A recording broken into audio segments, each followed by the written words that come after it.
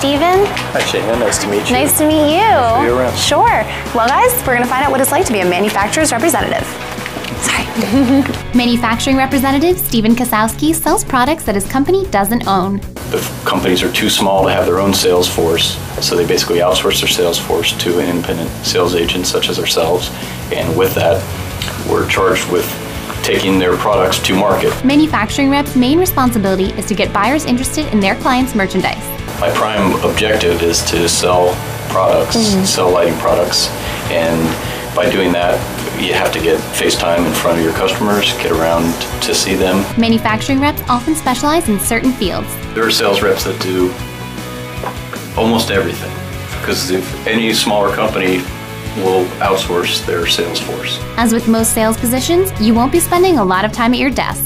50% of the time is spent outside the office calling on customers, uh, doing, showing samples, going over reviewing projects. In order to jump into this career, a bachelor's degree is helpful. Business or sales training, as well as knowledge in the particular field you're working in, is needed.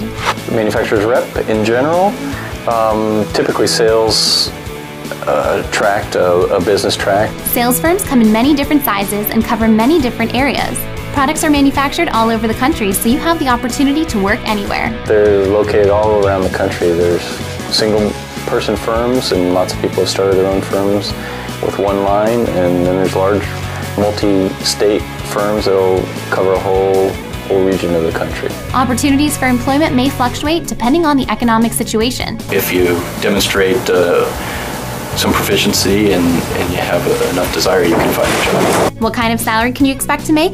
Average salary for outside sales starts at probably $40,000 a year and it's pretty much limitless. The ability to communicate well with others, patience, and perseverance are all helpful qualities in this field. Have you sold anything?